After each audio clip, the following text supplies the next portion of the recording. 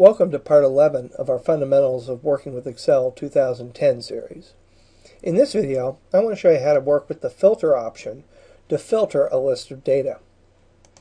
You're going to see here I've got a list of information inside of Microsoft Excel. It's basically an employee roster that has their name and then the division, department, and position that they work for. And I want to be able to filter this list so that I'm only seeing certain pieces of data at any one time. The first row on my list, just like with the sort tool, needs to be the field names. You can see here, row 1 of my list are the individual field names. To turn on the filters, what you're going to do is go to the Data tab up at the top and then click on the Filter option. When you do that, you're going to notice the drop-down arrows appear to the right of each one of your fields.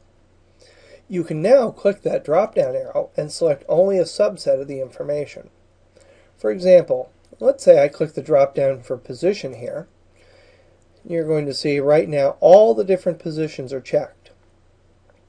But I'm going to uncheck select all, and I only want to see administrative assistants, accounting assistants, and um, group administrative assistants. And then I'm going to go ahead and click OK.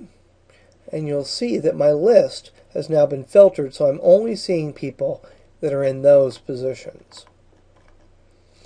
You can go even further, because when you click on this option, you actually have the sort tools right from here.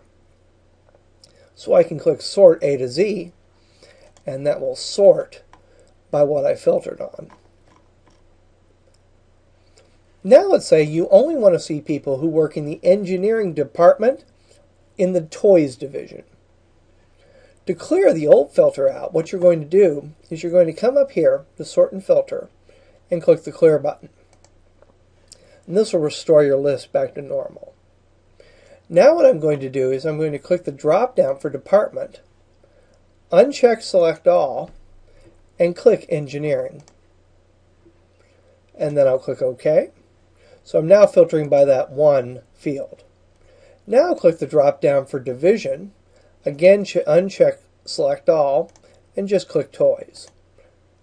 And now I'm only seeing people who are in the engineering department assigned to the toys division. And again, if I wanted to, I could come here and I could sort by their last name. So the filter tool is a really powerful, really simple tool to work with inside of Excel that will allow you to um, generate reports. And remember, whenever you want to get out of the filter, you can always click the clear button. If you look in the lower left-hand corner, you're actually going to see it's telling me that I am filtering. I'm filtering for only 12 of 114 records. So clicking clear will get rid of that filter. When you want to stop using the filter options, you just simply click filter and that'll turn off the drop down arrows. If your list was already filtered when you turn the filter off, it will clear the filter and then turn it off. So there's no chance of actually losing data here.